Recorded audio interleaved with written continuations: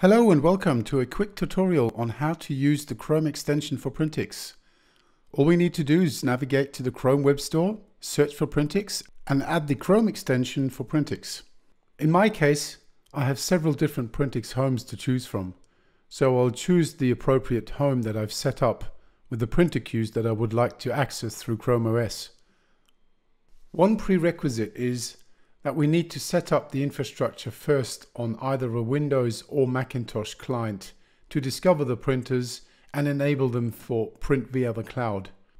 This way, they become available in Chrome OS, so I can now send documents straight to the Printix Managed Print Queue from Chrome OS directly. I hope you found this informative and see you soon.